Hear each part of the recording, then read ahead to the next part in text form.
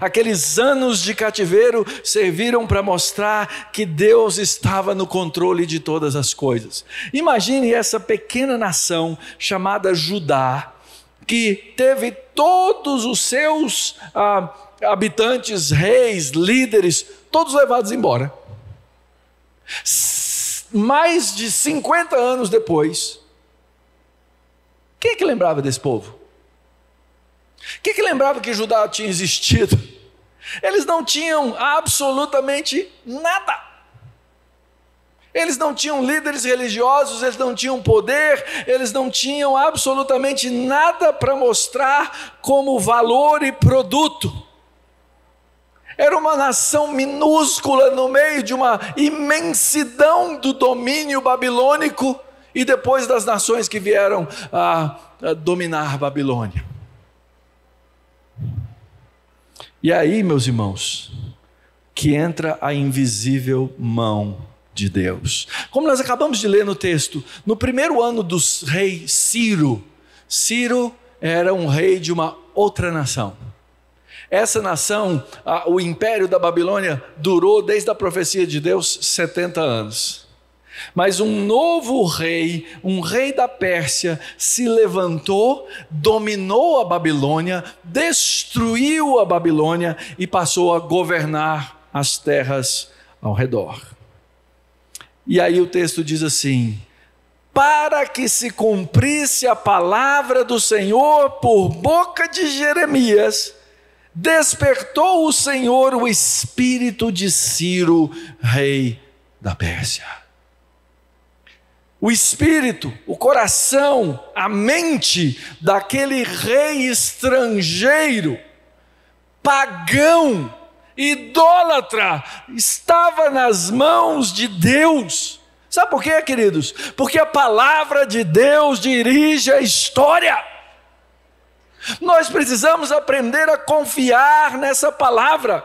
O texto diz que esse Ciro fez um ato, fez um decreto, mandou espalhar por toda a nação, dizendo o seguinte: a partir de agora, o judeu que quiser voltar para a sua terra, o judeu que quiser voltar para Jerusalém, volte para Jerusalém e reconstruam o templo do seu Deus.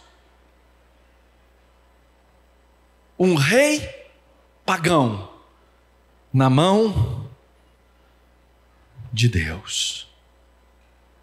Fazendo uma lei num estado pagão, uma lei no meio de um povo pagão, para beneficiar o povo de Deus. Para quê? Para se cumprir uma profecia que um obscuro profeta havia falado 60, 70 anos atrás. Deus está no controle da história. Existe um cilindro, uma placa, está aí projetado para vocês, de barro, que é chamado cilindro de Ciro. A inscrição nesse cilindro fala como Ciro se tornou o libertador da Babilônia e ele instalou uma política diferente da política de Nabucodonosor. A política de Nabucodonosor era: eu vou lá, pego aquele povo e levo cativo para minha terra. A política de Ciro era outra: eu deixo cada povo na sua terra, e não só isso, os que o Nabucodonosor trouxe eu vou mandar de volta.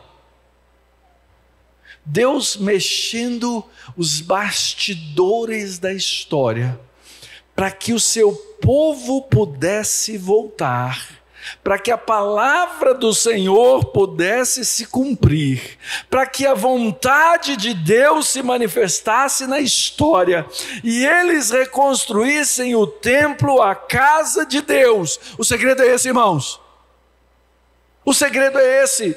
O segredo é que Deus faz as coisas para cumprir a sua vontade sobre a terra. Percebe a teologia do texto?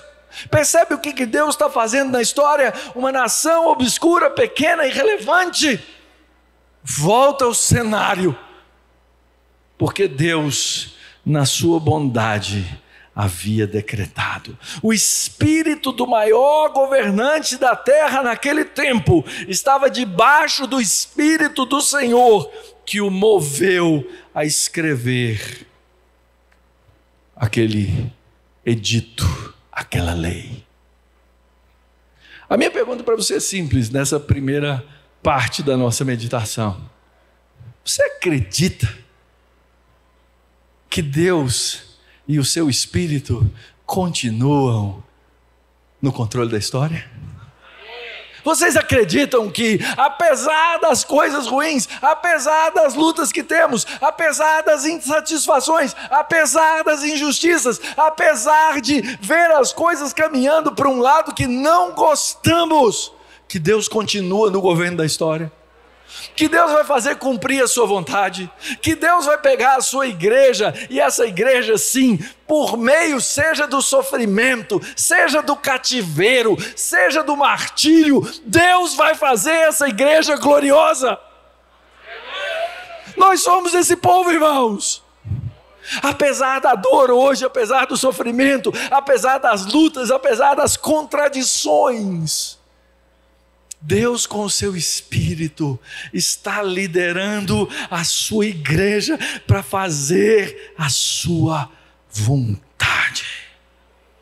Deus faz os ímpios cumprirem as suas ordens.